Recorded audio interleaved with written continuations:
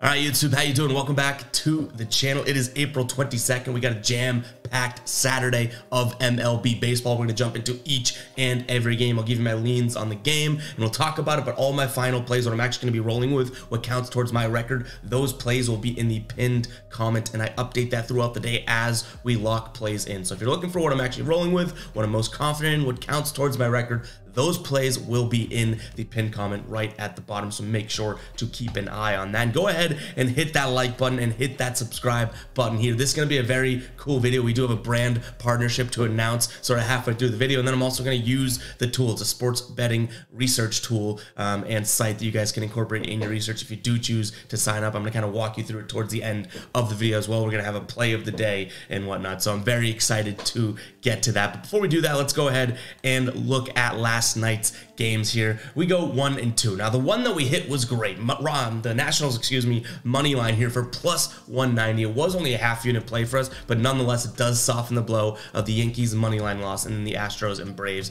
under nine. They finished at 10 runs, I believe. So just that close to a profitable night. But let's go ahead and do a little bit better today. We're started off with the Yankees taking on the Blue Jays here. Yankees minus 170 at home. Total is sitting at seven and a half runs. Makes sense. Cole's on the mound for the Yankees. He's 4 0 this season with a a sub one ERA. Alek Manoah on the mound for the Blue Jays. His ERA is 6.98 with a one and one record. I do lean towards the Yankees in this one. I don't know if I want to pull the trigger on run line. The money line money isn't good enough for me to actually pull the trigger on Yankees money line in terms of minus 170. So I'm kicking around the idea of Yankees run line for plus 125 or so um, on that minus one and a half line. So that is going to be my lean there ever so slightly. Uh, but in terms of a total, I do like the over slightly in this one as well. Now, I know they have two decent pitchers. Well, Gerrit Cole being a really good pitcher on the mound today. You know, you might think, okay, well, that means they're not going to score that many runs. That could be true, but I expect these Yankees offense to bounce back after getting beat six to one yesterday by this Toronto team. So um, if the Yankees can go out there and, you know, score six runs, I don't see the Blue Jays having trouble scoring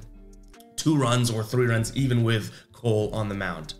Um, so we're going to lean the over, like I said. Moving on, we got the Twins taking on the Nationals here. Twins 11 and 9 on the season. They got Pablo Lopez trotting it out on the mound. Today's 1.73 ERA, and then Cool on the mound for the Nationals. He's 0 1 the season with an 8.59 ERA. Now, this Minnesota team minus 280. Obviously, we came in clutch with a big hit on the, uh, the Nationals money line yesterday. I don't think we do that again. I am going to be looking at Minnesota in this one, but in only sort of a parlay sense or anything like that. We have our parlay today that we're posting on YouTube Shorts, Instagram, and, and TikTok and whatnot too. That's the only time I would consider this. Minus 280. The odds are just not even remotely worth considering for a money line play. I don't truly trust this Minnesota team to cover a run line, so I'm only saying this, and I guess I'm being transparent with you guys. The only thing that I would consider is Minnesota as a piece in some sort of parlay. Other than that, I don't really like this game. The total sitting at seven runs. I think that's a pretty sharp line as well. Um, I, I want to take the over, but I don't think I can trust totally either of these offenses. Last night's game was three to two. Uh, Washington wins that one, so I'm gonna. I'm gonna. I guess I'm gonna look at the under, um, but I don't really love it.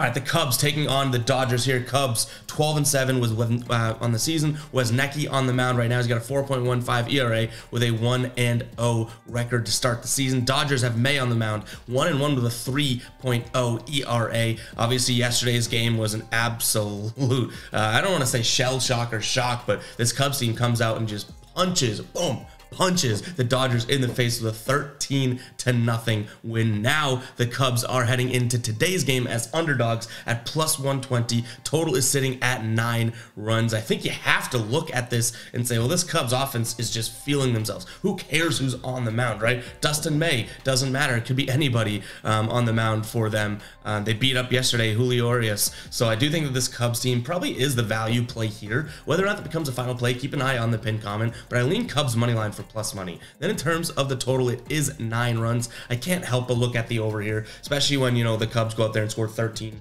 runs. I almost said points. 13 runs. Um, the Dodgers don't score any, and it still crushes this line. I'm going to lean towards the over.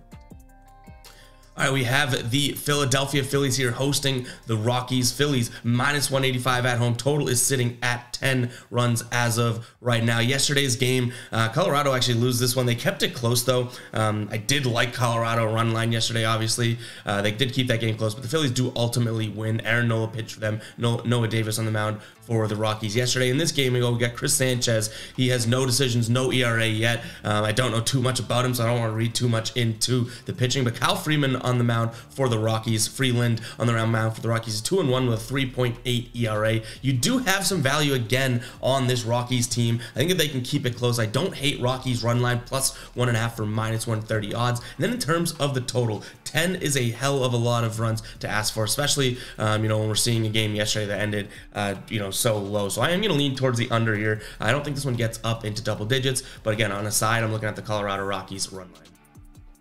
All right, first of a doubleheader here, we got the Guardians taking on the Marlins. Uh, Shane Bieber on the mound for the Guardians. Sandy Alcantara on the mound for the Marlins. Obviously, I'm going to give the nod to the Guardians when it comes to pitching, and I think you're getting some good value. I know the graphic doesn't have it updated, but the Cleveland right now minus 130 on the money line, and the total is sitting at seven runs. Now, I really don't like either side of the total in this game. Um, I think that that's again a very very sharp number. A lot of these books are throwing out the line of seven runs when we know that these games are finishing five two, three, four, you know, that type of thing. So I really don't have a play on the total. I would lean slight over, if anything, but I do like the Guardians in this spot. I think this is a good, um, kind of a good spot for them. And you're getting good value here as well. So uh, I'm going to lean towards the Guardians money line again for around that minus 130 mark. And then in terms of a total, very slight lean towards the over. And again, if you want to skip through the next uh, the next Miami versus Cleveland game, I'm going to feel the exact same way. Only I'm more strong um, feeling about this first game with Bieber on the mound. All right, we got San Francisco taking on the Mets. San Francisco minus 120 at home, total sitting at eight and a half. Runs Webb on the mound for the Giants. He is 0 in for this season with a 6.08 ERA. On the mound for the Mets, David Peterson 1 and 2 with a 6.110 or 6.1 ERA. I like the over in this game immediately. I don't think either of these pitchers have it really locked in. I think this could be a double digit game. Um, but in terms of a side, I did go back and forth on this. I think I'm going to lean towards the Mets. They've already taken two um, of this series, so I'm going to lean towards the Mets plus money here on the road. They won seven nothing yesterday, um, and then nine to four the first game. So they're kind of showing, hey, we're the better team. I do like you're getting slight plus money as well. Um, if you do want to lay a bunch of juice, maybe throw it in a parlay. I don't hate Mets plus one and a half because I don't think this uh, Giants team has a little blowout potential in them. But again, I'm gonna lean towards the Mets here money line for plus money and the over.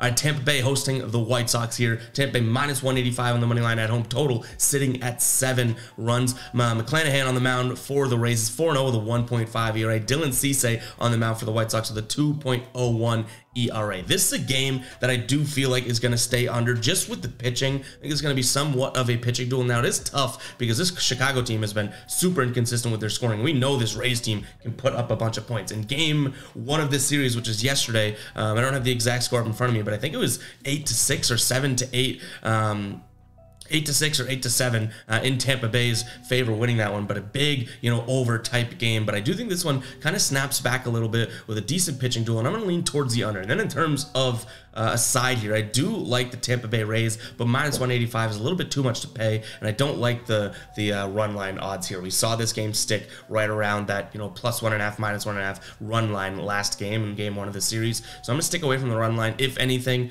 again, I hate to be doing it to you guys, but this could be a little parlay piece. I do like Tampa Bay Rays, not necessarily on its own because minus 185 is way too much to be paying. All right, uh, next game of that doubleheader is the Guardians taking on the Marlins. Everything I said applies, but I really am going to only look at the first game if I am going to be making a play on this game. I do still lean Guardians money line uh, over in terms of uh, total very slightly, but uh, I, I, would if I were to make a play today. I'm not going to be betting on both these games. It would be game one because I trust the pitching there um, instead of the second game. Right, Pittsburgh taking on Cincinnati here. The the Pirates minus 146 on the money line at home. Total is sitting at nine runs in this one. I do like Pittsburgh all around. Um, I think that they could even uh, you know cover this in terms of a run line as well. Uh, game one of this series, uh, they win four to three, and then game two they win four to two. I think we're waiting for an over to hit as well. Both these teams can score a bunch of runs, so I'm gonna lean Pittsburgh on the money line and the over. I could dice it up and get Pittsburgh, uh, you know be a little risky, I guess, and get Pittsburgh on the run line as well for plus 130. We might throw a half unit on that or something. Um, Rich Hill on the mound for them. He's got a 5.5 ERA, but Cessa on the mound for the Reds. He's 0 2 with a 13.5 ERA. So even though Rich Hill isn't having the best of seasons, I do still think that we get the pitcher's nod over on the Pittsburgh side of things.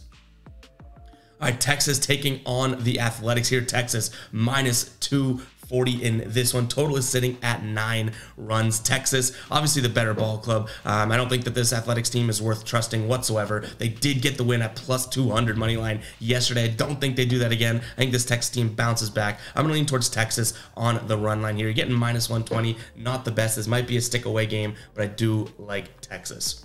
Um, and then in terms of a total, I like the over nine as well. And guys, I did say I had a little bit of an announcement to make. So if you are watching, thank you, thank you very much. And I do want to bring a new brand partnership to the channel here, and it's gonna be Outlier. Smarter sports betting, literally guaranteed. You start using these tools, guys, that Outlier has. A great mobile app, I'd argue is even better than the web client app, um, but they have a website as well that you can go on. What it really is is just um, all these stats and all these analytics that I go through. This is the type of thing that makes it simple. And I get questions all the time. What's your sports betting research, right? Well, what's the process? This makes that super simple. This is like an answer to that. I've started to use it and I've been absolutely loving it. What it does, it's great for player props and games and pretty much looks at all of these sort of insights that you might, you know, spend 10 minutes trying to find normally, but Outlier throws it right out into your face. You go over there, what you're first to see is a bunch of trends. Jayson Tatum does this. Um, you know, McClanahan in his last eight starts has, you know, six and a half strikeouts, more or less 10, eight times, that type of thing. Um, they kind of throw that right out there. So you can start your sports betting analysis on the right page. You know you're at the right page. I'm going to go through this and show you guys the tool at the end of the video because we're going to have an outlier play of the day today. So very excited for that. I'm going to talk more about it again at the end of the video. But really, guys, if you do want a smarter way to start your sports betting research process, check out Outlier, guys. There's going to be a link in the description of this video. You get seven days of a free trial there, and it's so worth testing and checking out. It makes everything everything so damn visual, guys. So make sure to check out Outlier. Use that link in the description. You get a seven day free trial, but it's going to be worth the money $19.99 a month or 199 for the year when you guys do choose to sign up fully because this thing makes it super, super simple. Look at how visual that is. These are just screenshots right from the app and the website, guys. Super visual. Um, so we'll dive into that later on in the video as well, but I did want to kind of bring that announcement to you guys. Very, very excited about it. All right, getting the train back on the tracks here. We do have the Orioles taking on the Tigers here. Orioles minus 170 at home. Total sitting at nine runs right now. I know eight and a half is on the graphic, but it's actually uh, nine on most sportsbooks now. So we're going to go off of that. I do think that this Orioles team, um, you know, is the better team. Uh, they, they lose that game, or no, Detroit lose that game, but it's only a 2-1 game. So it kind of felt like a Baltimore loss last night. Um, but I think the Orioles bounce back in a decent way. Now, minus 170 is a lot of juice to be paying, but I don't hate them on the run line either for plus 112, some plus money. Then in terms of a total, nine runs, I think this one sticks under that mark. Even when it was at eight and a half, I still like the under as well. All right, the Brewers taking on the Red Sox here. Red Sox dogs on the road with Garrett Whitlock on the mound here, 4.5 ERA, going up against Wade Miley, who's 2 and 1 in the season with a 1.5 ERA. Uh, Brewers are, you know, minus 119 on the money line here at home. Even though Red Sox take that win yesterday, I do think this is a Brewers spot. Um, this Brewers team is a very, very quiet, successful team. 14 and 6. I don't know how much longer, you know, they're going to be this good without many people talking about them or them getting some respect. So I am going to lean Brewers in this one, um, minus 119 odds on the money line. And then in terms of a total, I didn't think yesterday was that, you know, like a crazy Excalibur or exclamation of scoring yet, and they still scored nine nine runs and hit this over. So I'm also going to lean towards the over in this one as well. I think a lot more runs are in these teams um, than what they showed yesterday, and that was still an over. All right, Atlanta taking on Houston here. Atlanta plus 100 at home on the money line. Total is sitting at eight and a half. I do think that this is a great spot for the Braves. Again, the graphics is minus 102, but they are plus money on plenty of sports books. I also like the over here. 12 mile an hour winds blowing directly out to center field. Love to see that. Neither one of these pitchers, I would say, are, are an absolute stud. Um, Valdez having a good season, 1.8 ERA, right on the mound, 6.2, but I do still think um, neither one of them are pitchers that you look at and say, oh my God, it's got to be an under game because they're on the mound, right? So I'm going to lean towards the Braves here on the money line. And then in terms of that total, I am going to be looking at the over.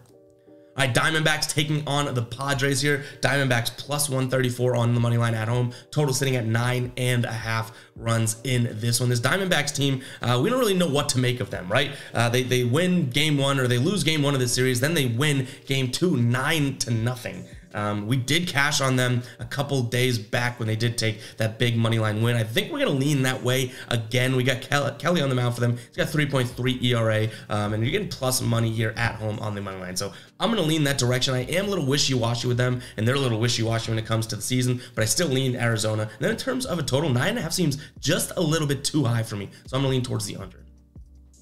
All right, the Angels taking on the Royals. Anderson on the mound for the Angels, 1 0 in the season with a 6.7 ERA. Greinke on the mound for the Royals has yet to get a win, 0 3 with a 4.03 ERA. This Angels team minus 185 at home here on the money line, rightfully so. Um, total is sitting at nine and a half runs. That is a little too high for me. We saw two to nothing game last night from these two teams, but I do lean Angels. I don't trust this Royals team. They absolutely stink. They're like dog water out there. Um, but I do like the uh, under in this game as well. Like I said, um, I'm going to lean towards the Angels again, but it is a lot of money to be paying. Probably stick away from the money line. I like the under um, more than anything in this game.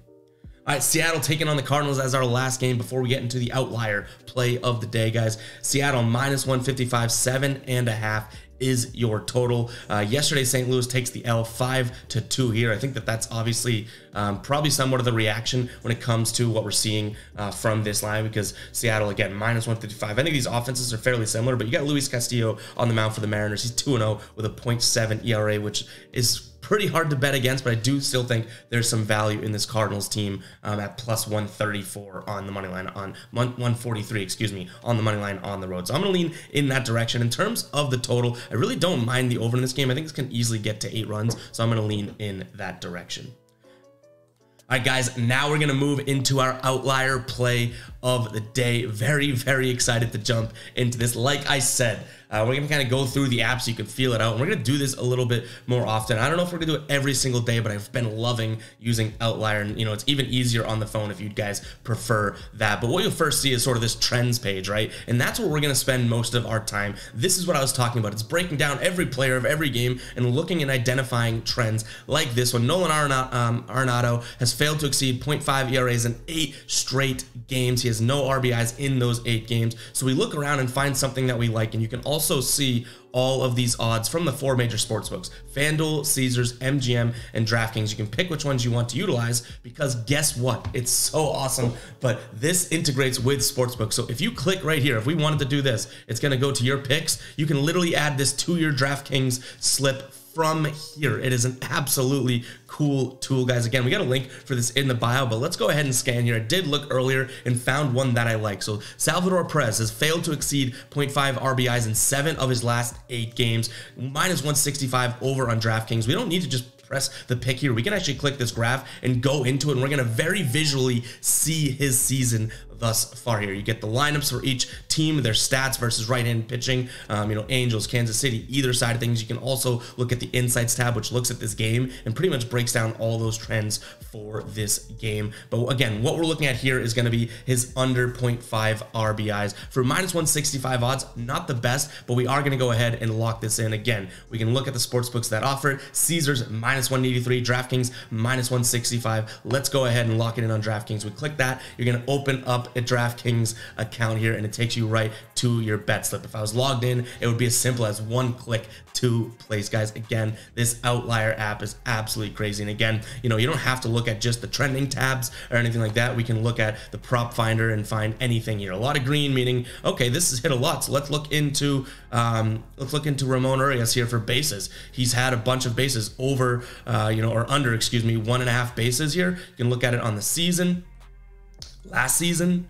You can look at it against the team that he's playing today. You can look at it in his last 10, his last five games. Super, super, super cool app to use. But again, our pick is going to be um, we have it right here. Our pick is going to be Salvador Perez under 0.5 RBIs, minus 165. But let's go 1 and 0 in terms of our play of the day here from Outlier, guys. And that is going to wrap it up for today's video. Again, go check out Outlier. That link is in the description. Awesome, amazing. I don't even know how many adjectives I can use to describe this tool and how much I've been liking it lately and how much time it saves me. So make sure to go check that out, guys. We'll catch you guys in the next video, right?